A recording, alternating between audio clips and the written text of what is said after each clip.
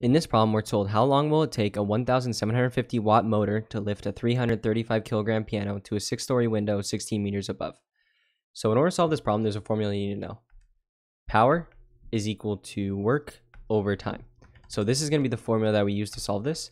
And so keep in mind what they're asking for. What we're trying to do is solve for the time. So what we need to do is get this in terms of t. And we can do that just by multiplying both sides by t, right? We'll get tp and then equals w and then divide both sides by p.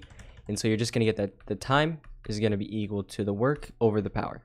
And so keep in mind what they give us here. Let's write down our given. So they're telling us that it's going to, how long will it take a 1,750 watt motor? So when they talk about watts, that's describing power. So we know that P in this case is going to be 1,750 watts, right? So that's the power.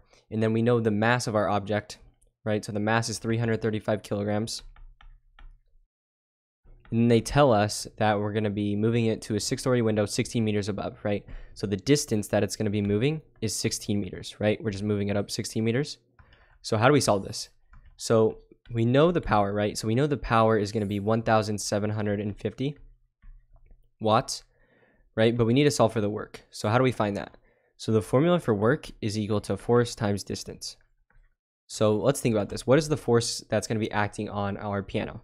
Right? If we're moving it upwards, the only force that's going to be acting on our piano, right, is just going to be the force uh, due to gravity, which is just mg. This is going to be the only force acting on it if we don't take into account other forces like air resistance and stuff. But essentially, it's just going to be mg.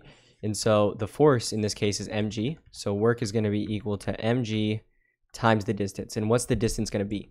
We're going to be moving it up 16 meters, right? We start here, we move it up to the six story window, 16 meters above. So the distance is 16 meters. So it's mg times 16. So if we just plug in the things, right, we plug in our variables, mass is 335, g is going to be 9.8, and then this was the distance, right, which is 16.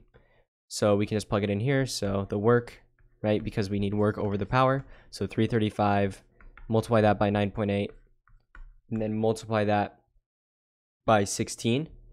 So you do 335 times 9.8 times 16 divided by 1,750. And so let me go ahead and plug this in my calculator. So 335 times 9.8 times 16 divided by 1,750. So if you go ahead and do this, you're going to get that T is equal to 30.016. So I'm just going to go ahead and round it to the whole number, so 30. And so when you do this, uh, since we're using, this is in meters per second, right? So we know our time unit is going to be in seconds. So it's going to be 30 seconds. So it's about 30 seconds. That's going to be the amount of time this takes. So 30 seconds is your answer. And so yeah, hopefully you found this useful.